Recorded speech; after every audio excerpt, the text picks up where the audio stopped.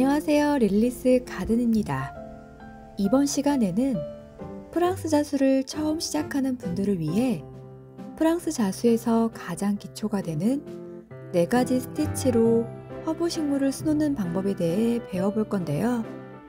이 스티치들은 자수에서 튼튼한 기둥 역할을 하면서 늘 반복되니까 초보자분들은 꼭 한 번씩 따라해 보시길 추천드립니다.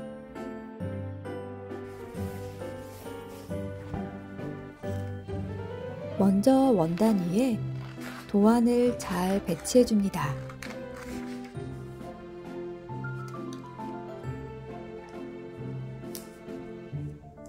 원단과 도안 사이에 먹지를 끼워주는데 작은 도안은 그 사이즈에 맞춰 먹지도 잘라서 사용합니다. 그리고 자수용 철필이나 다 쓴 볼펜으로 도안선을 따라서 그려줍니다. 저는 도안선을 잘 보여드리기 위해 펜에 힘을 주어 좀 진하게 그렸지만 보통은 힘을 빼고 먹지가 원단에 묻어나지 않게 조심하면서 그려줍니다. 도안의 크기에 맞는 수트를 선택해서 원단을 팽팽하게 고정합니다.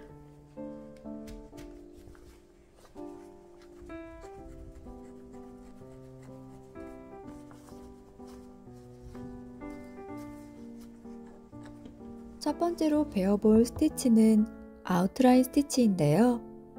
가느다란 선을 수놓을 때 사용되는 스티치로 오늘 배워볼 모든 허브에 사용됩니다. 먼저 두 가닥의 실을 줄기 아래에서 빼내어 줍니다.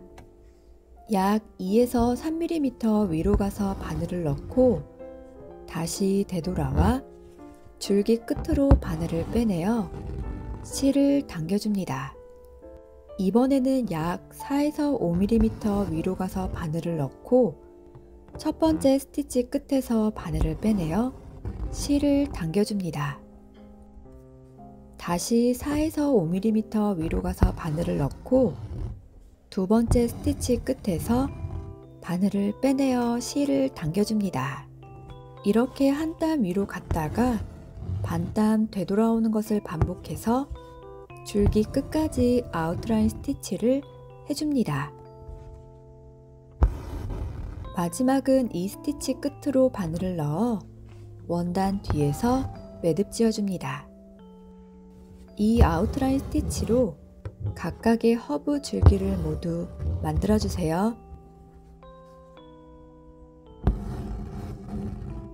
두 번째로 lazy daisy stitch를 배우고 잎을 만들어 주겠습니다. 세 가닥의 실을 도안선 아래쪽에서 빼내어 줍니다.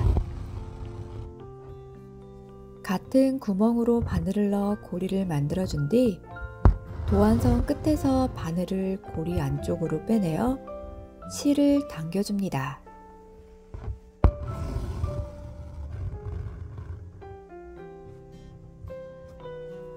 바늘을 고리 바깥쪽으로 한 땀 넣어 고리를 고정하면 lazy daisy stitch가 완성됩니다.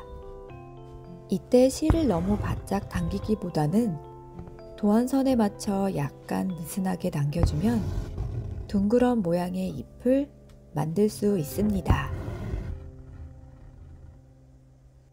이렇게 타임이라는 허브가 한 개 완성됐는데요. 같은 방법으로 실의 색상만 바꾸어 새순이 돋은 라벤더도 만들 수 있습니다.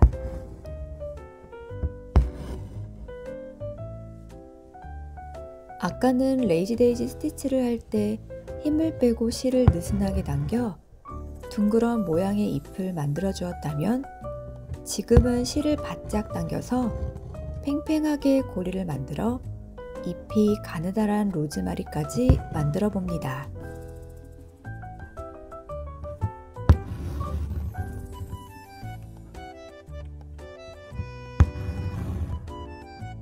세 번째로 배워볼 스티치는 French knot stitch인데요. 원단 위로 동그란 매듭을 지어 꽃이나 꽃술을 표현할 수 있습니다.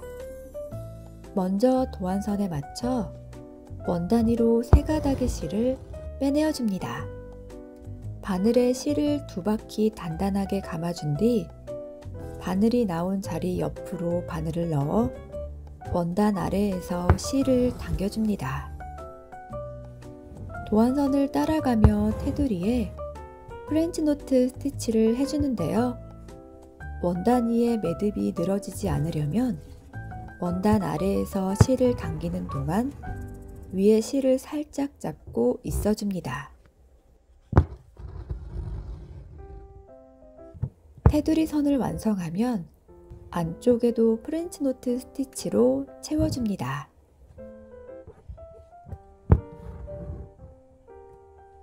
French knot stitch는 꽃술에 많이 사용되는데요. 여기서는 카모마일 꽃의 꽃술을 French knot stitch로 만들어줍니다.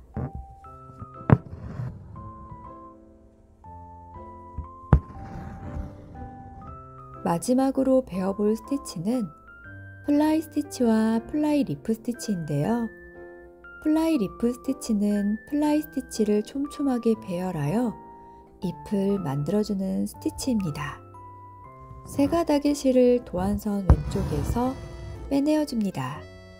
오른쪽 도안선에 맞춰 바늘을 넣어 고리를 만들어준 뒤 선이 꺾이는 부분에서 바늘을 고리 안쪽으로 빼내어 실을 당겨줍니다. 여기서 일직선으로 내려와 바늘을 넣어줍니다. 아래로 내려와 다시 왼쪽 도안선에 맞춰 바늘을 빼내고 오른쪽으로 넣어 고리를 만들어준 뒤 꺾이는 부분에서 바늘을 빼내어 실을 당겨줍니다. 일직선으로 내려와 바늘을 넣어줍니다. 이를 연속으로 배열하는 것을 fly stitch라고 하는데요. fly stitch를 촘촘하게 수놓으면 fly leaf stitch가 완성됩니다. fly stitch로 뾰족뾰족한 허브 식물 딜의 잎을 모두 완성합니다.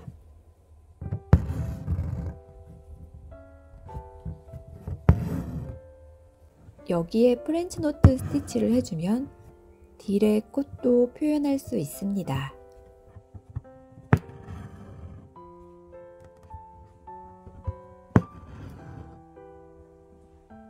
fly leaf stitch는 그냥 leaf stitch라고 더 많이 부르는데요.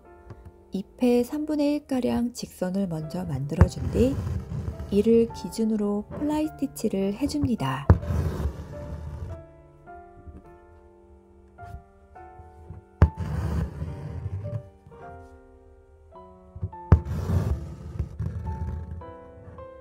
실을 고리 바깥쪽으로 한 땀 넣을 때는 1mm의 직선을 촘촘하게 배열해서 가지런한 잎맥을 만들어줍니다.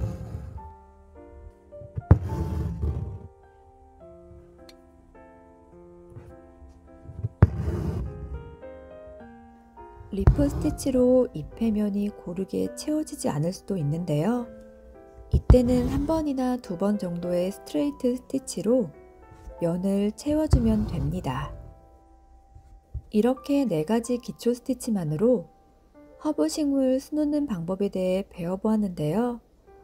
허브를 손수건이나 테이블 매트에 수놓아 소품으로도 완성할 수 있습니다. 오늘도 릴리스 가든에 찾아와 주셔서 감사합니다. 모두 모두 행복한 하루 되세요.